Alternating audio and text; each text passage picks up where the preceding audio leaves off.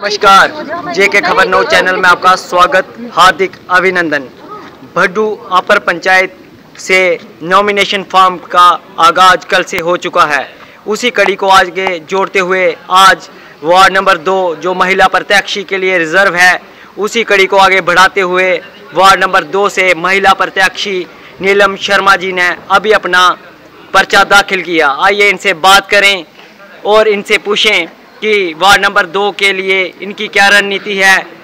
जे के खबर नौ में आपका स्वागत हार्दिक अभिनंदन।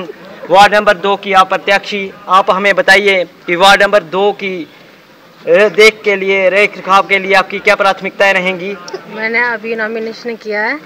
इसके बाद में पता चलेगा। मान लो कि जैसे स्कूल में एडमिशन हुआ है उसे जब बच्चे आएँगे फिर पढ़ा पढ़ाएँगे फिर पता चलेगा। फिर उस बाद में बता सकते हैं एक बात बताइए आप जैसे दो टर्म पिछले दो वार्ड मेंबर्स, वार्ड नंबर दो से रह चुके हैं, लेकिन लोगों से उनकी काफ़ी सारी शिकायत हैं। अब आप बताइए कि अगर आप वार्ड मेंबर जीत जाती हैं तो वार्ड वार्ड नंबर दो की भलाई के लिए आप क्या कोशिशें करेंगी जिससे लोगों की वो शिकायतें दूर हो जाएँगी? तो अपने से हम कोशिश ये करेंगे। पहले हम, आप लोगों से